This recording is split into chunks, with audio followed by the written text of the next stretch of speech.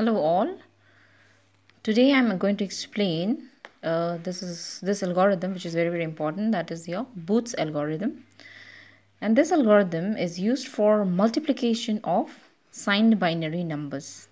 You have two binary numbers then with the help of this algorithm we can multiply and find the product.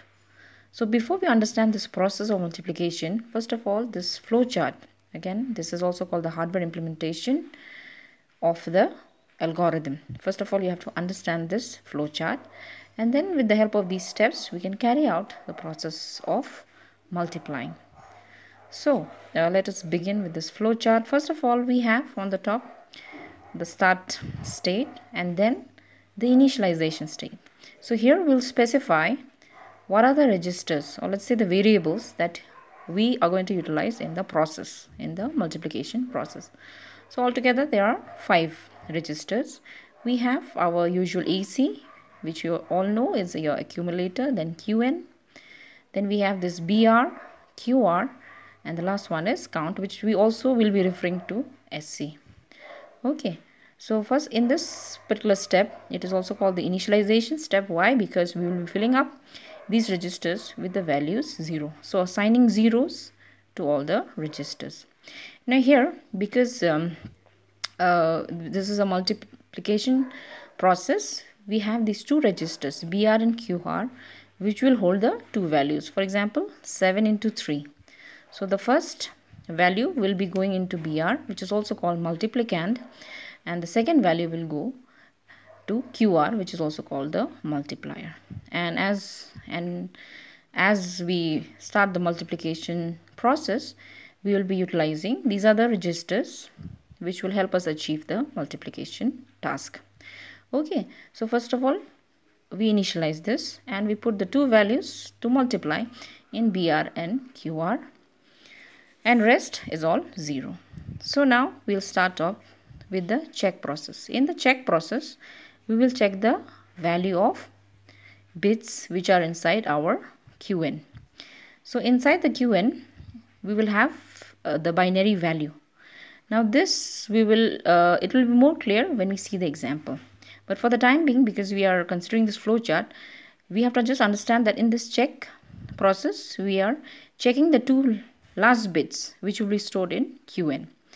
So we will be checking qn and qn plus 1 that means the last two bits. So if our uh, number of bit is 5 we'll be checking the fifth bit and the fourth bit another example will be if we are having let's say 7 bit the the the size of the register is 7 bit so in that case we'll be checking the 7th bit and the 6th bit.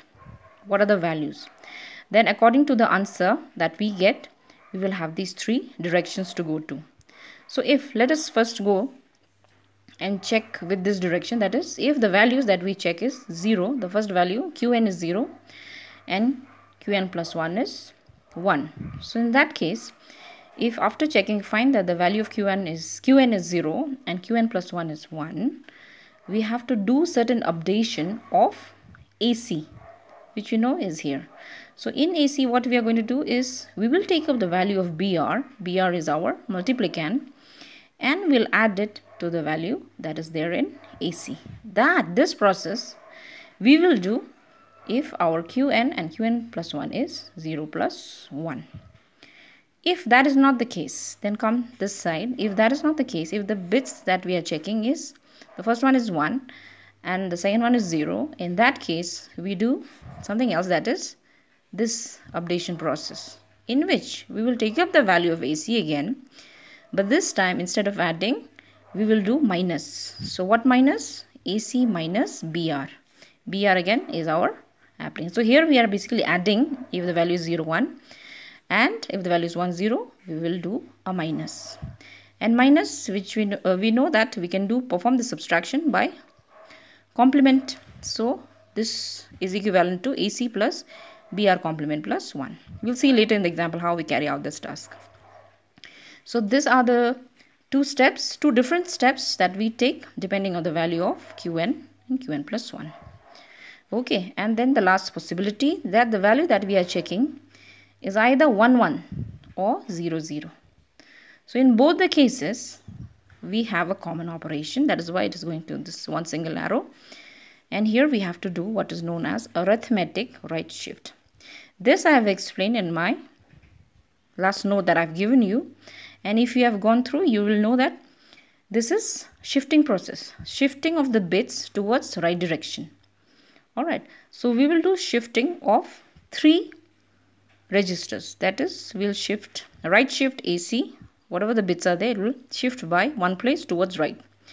QN the bits inside Qn that also right shift and Qn plus 1 this we will do if the value that we are checking is either 1 1 or 0 0 so after that we will check the value of count. Count is to check whether we have reached the end or not so if count is not 0 that means if some bits are still to